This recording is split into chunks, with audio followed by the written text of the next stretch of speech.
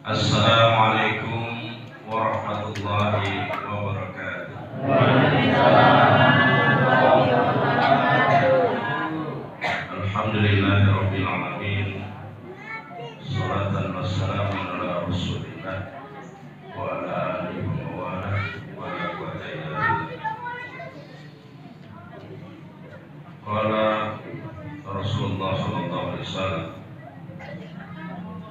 Sahur Ramadan awaluhu rahmah wa asaduhu maghfirah wa akhiruhu itqu minan wa man sama Ramadan iman wa ihtisaban ghufira lahu ma taqaddama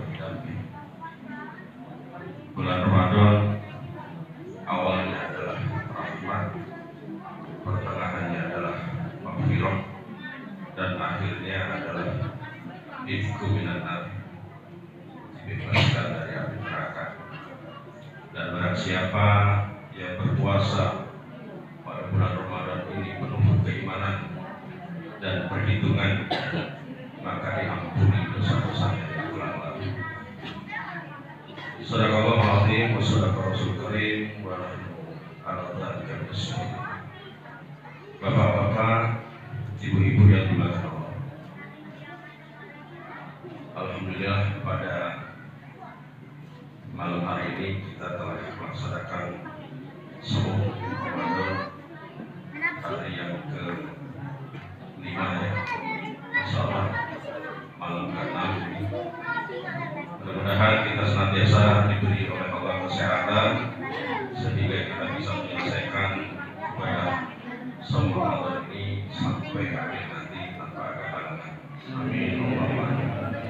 Bapak Ibu yang Allah.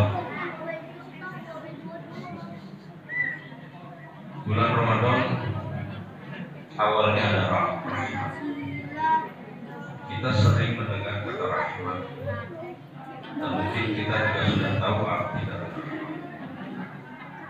kalau kita terjemahkan Indonesia rahmat adalah kasih sayang. Tapi sebenarnya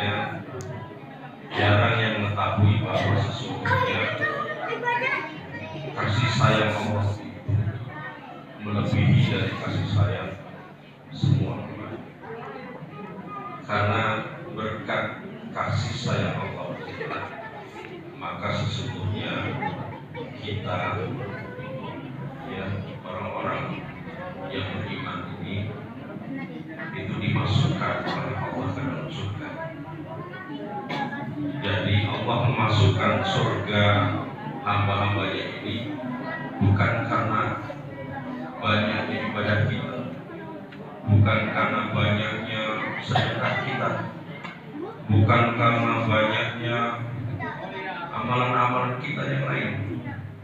Melainkan Allah memasukkan surga, memasukkan kita ke dalam surga itu karena rahmat.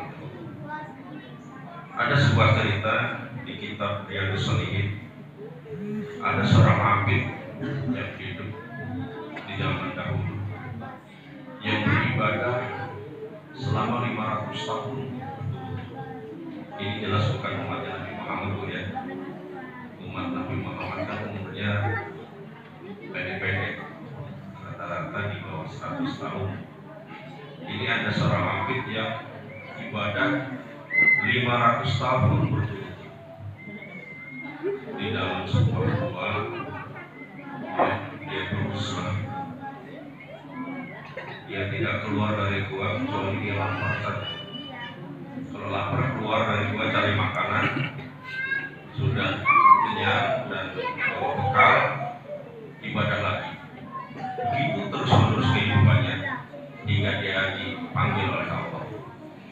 nanti di yaumil akhir seorang abid ini ikut antri mau masuk surga.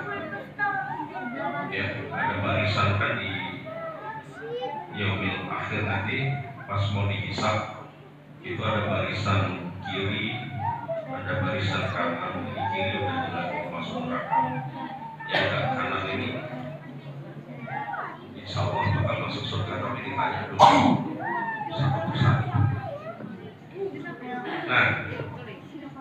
giliran Abid ini ditanya oleh Allah.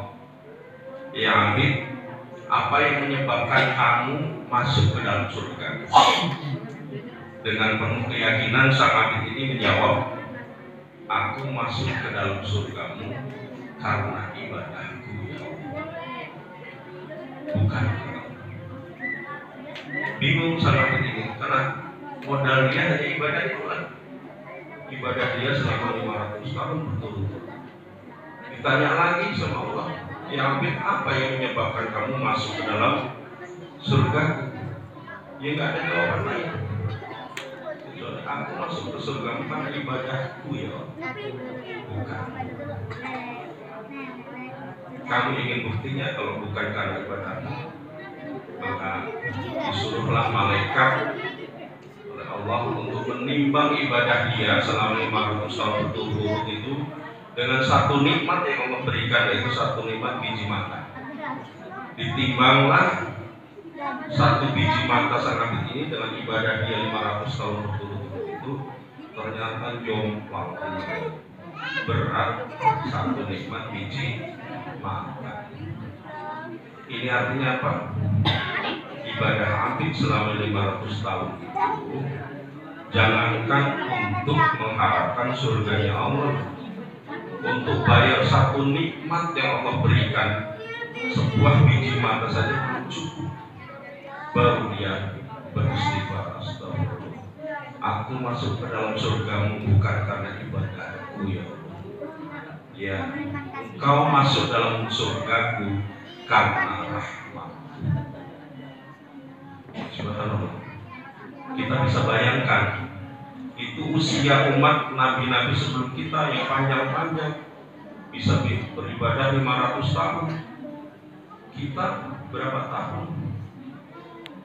Taruhlah kita mulai e, diterima ibadah kita setelah balik umur 15 sekarang umur berapa? Kalau kita umur 40 atau yang sudah nomor 60 misalnya 15 sampai 60 45 tahun. 45 tahun taruhlah itu diterima oleh Allah ibadahnya 45 tahun.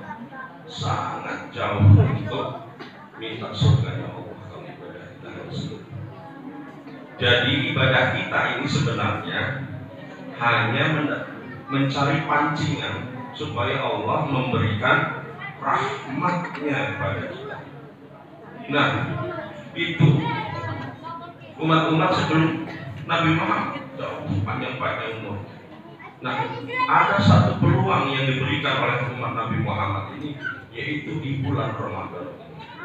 Bulan Ramadan dijuluki sebagai Sahrul Rahmat, bulan di mana peluang rahmat Allah itu bisa kita maka bersungguh-sungguhlah kita dalam melaksanakan saum ibadah Ramadan. Ya, penuh dengan keimanan dan perhitungan.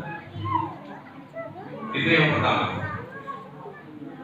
Jadi sebenarnya untuk mendapatkan rahmat kita kalau sudah mendapatkan rahmat itu sudah cukup ya.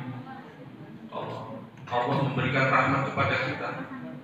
Ya apa pun yang kita mau apa pun yang kita inginkan sebelum kita ucapkan saja Allah sudah mengetahui apa yang kita inginkan. Apalagi kita benar-benar mengharapkan ridhonya Allah. Yang kedua Sahrul Ramadan dinamakan juga sebagai Sahrul Maghfirah bulan rahmat dan ini juga suatu peluang yang Allah berikan kepada umat Nabi Muhammad ini di bulan Ramadan ini untuk senantiasa memohon ampun kepada Allah. Karena tidak ada dosa yang tidak diampuni oleh Allah kalau kita benar-benar mohon ampun, apalagi di bulan Ramadan itu. Tidak ada dosa yang tidak diampuni. Sebesar apa pun dosa kita, seluas apa pun dosa kita, sebanyak apa pun dosa yang pernah kita lakukan, pengampunan Allah jauh lebih luas dari dosa-dosa yang pernah kita lakukan.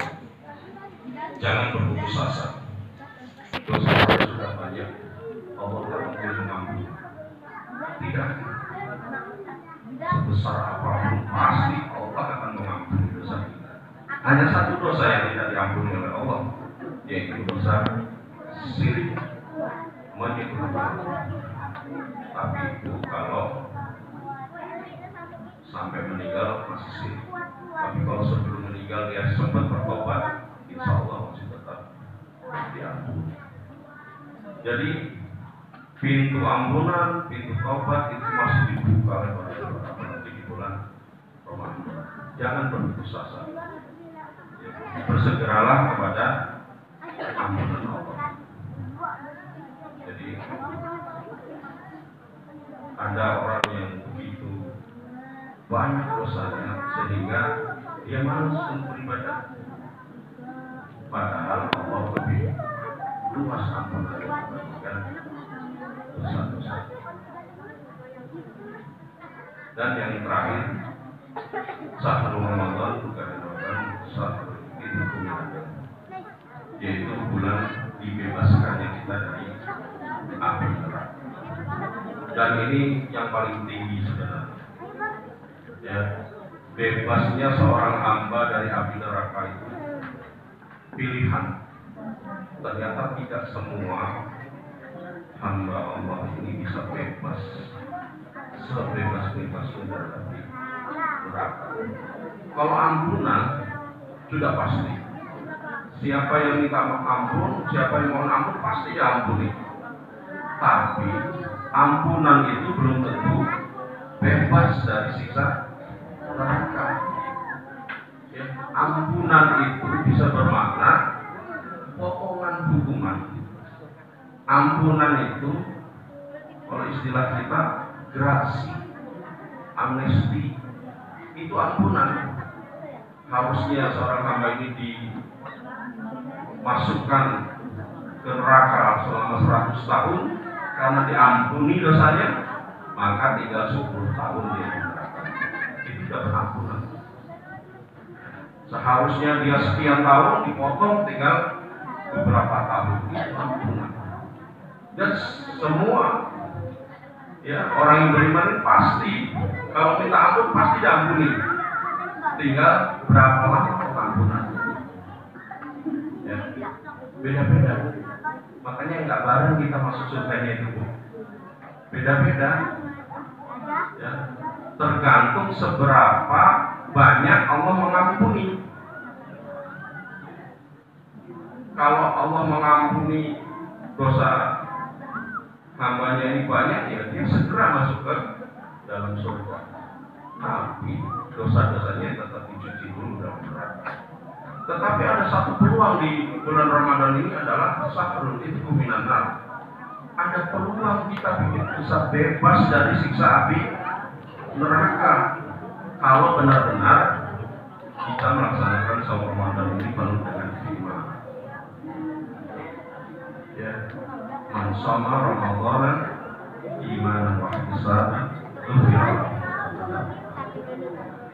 Itulah maknanya sebenarnya setelah saum Ramadan ini ya kita kenal dengan istilah Aidul Fitri. Aidul Fitri kembali kepada fitrah suci, bersih, tanpa dosa. Idul Fitri pasti lewat, pasti kita temui, tapi belum tentu semua umat Islam ini mendapatkan Idul Fitri. Karena orang-orang yang mendapatkan Idul Fitri itu bersih dosanya, benar-benar bersih. Itulah yang dinamakan ihminan Orang-orang yang mendapatkan Idul Fitri sebenarnya dia bebas dari siksa api neraka. Dan ini tidak semua, tidak semua umat Islam, tidak semua orang yang berpuasa itu terbebas dari siksa api neraka.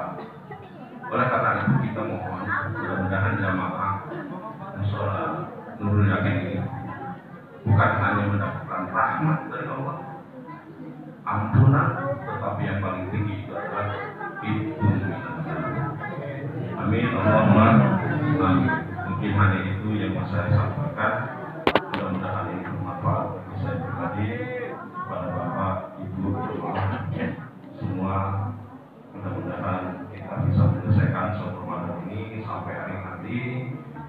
mendapatkan Idul Fitri dan akhirnya kita terbebas dari sisa neraka.